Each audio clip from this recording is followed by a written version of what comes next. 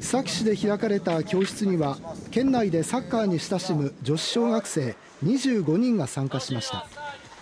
これは県内の女子サッカー界を盛り上げようと県サッカー協会が主催したもので高知ユナイテッド SC の吉本隆文監督を特別講師に迎え2017年に発足した女子クラブチーム。高知ユナイテッド SC レディースの選手たちが指導をサポートしました。教室で吉本監督はボールを取られないためには相手から遠いところにボールを置くことやドリブルの時に足元を見すぎないことなどを指導しました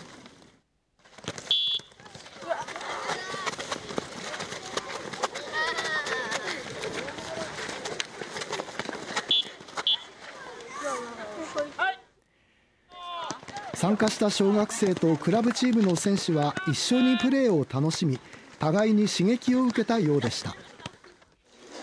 また教室の後は交流会も開かれました。年齢が近い選手も多く小学生とクラブチームの選手たちは学校の話などで盛り上がり